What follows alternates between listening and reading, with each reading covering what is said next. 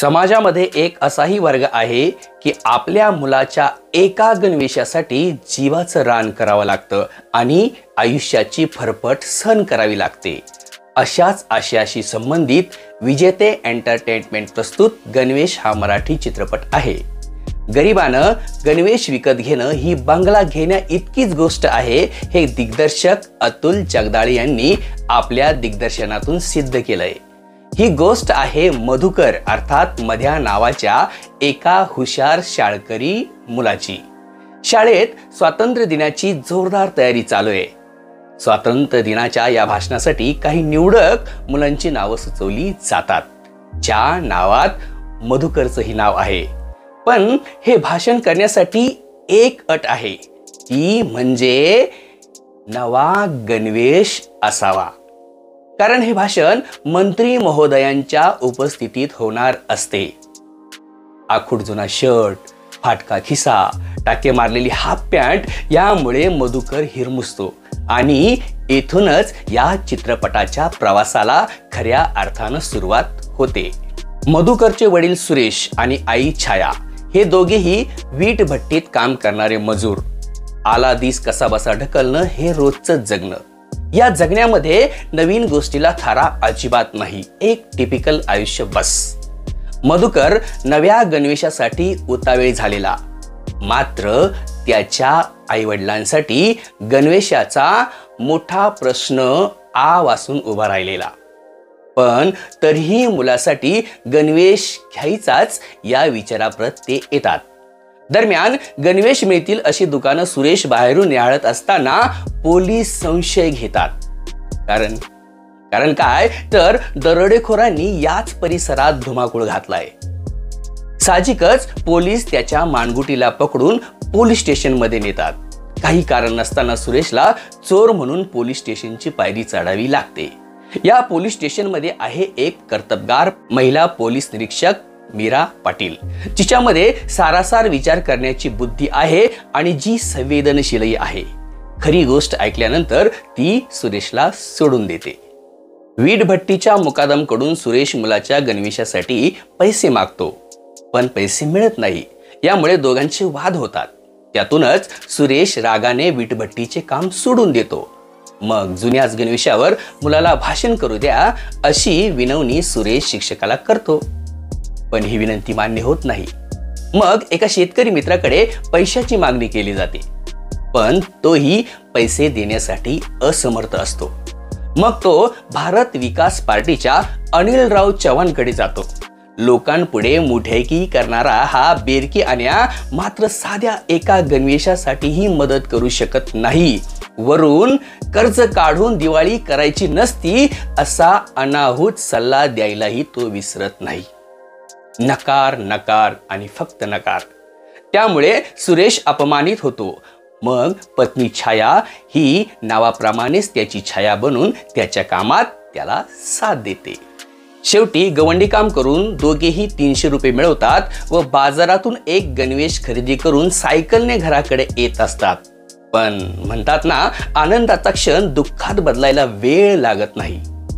शहरातल्या मस्तवान पुढाऱ्याच्या गाडीमुळे सायकलला जोरात धक्का बसतो. मग काय? त्याचे चमचे सुरेशला शिवीगाळ तसेच मारहाण करतात. पोलीस निरीक्षक मीरा पाटीलमुळे परिस्थिती नियंत्रणात येते. इथे मात्र एक होऊ नये अशी गोष्ट घडते. ती म्हणजे गाडीच्या धक्क्यामुळे गणवेश कुठे पडला तेच सापडत नाही. ज्या गणवेशासाठी इतकं कष्ट घेतलं जीवाचं रान केलं तो गणवेश बघ्यांच्या गर्दीत कुठेच दिसत नाही. हताश डोळ्यांनी आभाळाकडे बघणं एवढंच शिल्लक राहत. हा प्रसंग संवेदनशील माणसाचं हृदय पिळवटून टाकतो. पिचभर सपनाला बी आभाळाचं मोल हे गाणं गंभीर प्रसंगाला अधिकच गडद करतं. अशा प्रकारे सुरेशला अत्यंत वाईट प्रसंगाला सामोरे जावे लागते. मधुकरचं मात्र गणवेशासाठी रोज वडिलांना निरागसतेनं विचारणं आहेच. इतर मुलांचे नवे गणवेश येऊ लागतात. मधुकरला नवा गणवेश मिळेल का याची उत्सुकता प्रेक्षक म्हणून आपल्यालाही लागते. स्वातंत्र्य दिन तर जवळ येतोय. मग गणवेश घेणं होईल का? नैतिक विचार करायला अवधी तर हवा ना? आता सुरेशला दारूचे ड्रम पोचवणं आंदोलनात घोषणा देणं यासाठी पैसे मिळतात. या पैशातून टेलरकडून गणवेश शिवून घेण्याचा त्याचा प्रयत्न असतो. पण अशी काही अडचण येते की टेलर कडूनही हे काम पूर्ण होत नाही. मग शेवटचा धाडसी निर्णय सुरेश घेतो. हा घेतलेला निर्णय चूक की बरोबर? त्याचे झालेले परिणाम हे पाहण्यासाठी तुम्हाला हा चित्रपट पाहावा लागेल. मधुकरला नवीन गणवेश मिळतो का? त्याचे भाषण होते का?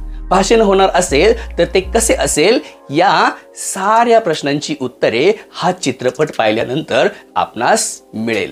हा चित्रपट केवळ शालेय गणवेशाविषयी बोलत नाही तर पोलिसांची खाकी मंत्र्याची खादी ते तिरंगा इथपर्यंत तो नकळतपणे भाष्य करतो. किशोर गतम व स्मिता तांबे यांनी मुलाच्या स्वप्नाला साथ देणारे आई वडील अतिशय उत्तम प्रकारे साकारले आहे. तन्मय मांडे या चिमुकल्यानं गोड निरागस सालसमध्ये साकारला आहे. मुक्ता बर्वे यांनी कणखर असूनही वरिष्ठांच्या दबावात घुसमटणारी तसेच संवेदनशील असणारी पोलीस निरीक्षकाची भूमिका साकारलेली आहे. दिलीप प्रभावळकर मंत्र्याच्या भूमिकेत भीट बसतात. नागेश भोसले यांनी बेरकी गाव पुढारी तर गणेश यादव यांनी शहरातील मस्तवाल खलपुरुष साकारला आहे. सुहास पळशीकरने गांभीर्य नसलेला वैतागलेला टेलर आपल्या अभिनयातून वठवला आहे.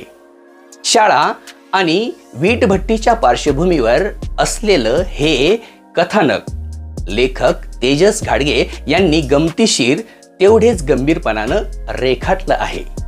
राजेश राव यांनी छान संकलन केले आहे. मंत्र्याचा दौरा व इतर प्रसंगात उत्तम संकलन दिसून येते. आशा व निराशेच्या वातावरणासाठी वापरलेला संगीताचा छानसा ट्रॅक आपल्याला ऐकायला मिळतो. गणवेशाभोवती फिरणारी ही कथा फक्त शाळकरी मुलगा मधुकरची राहत नाही तर गणवेशासाठी संघर्ष करणारे त्याचे वडील वरिष्ठांच्या दबावाला बळी पडणारी पोलीस निरीक्षक मीरा पाटील. पोषण आहार घोटाळ्यासंदर्भात राजीनामा देऊ पाहणारे मंत्री महोदय यांचीही ही कथा होते. खर तर प्रत्येक शिक्षकानं विद्यार्थ्यानं संवेदनशील असणाऱ्या प्रत्येक व्यक्तीनं गणवेश हा चित्रपट पाहायला हवा. प्राईम व्हिडिओ ॲपवरून हा चित्रपट तुम्ही मोबाईल किंवा स्मार्ट टीव्हीवर पाहू शकता. पालकाची तगमग आणि संघर्ष पाहण्यासाठी एका वेदनेशी आपली नाळ जोडण्यासाठी हा चित्रपट जरूर पहा. संवेदनशीलता आणि दृढ निश्चयाची ही कथा आपणास नक्कीच आवडेल. धन्यवाद.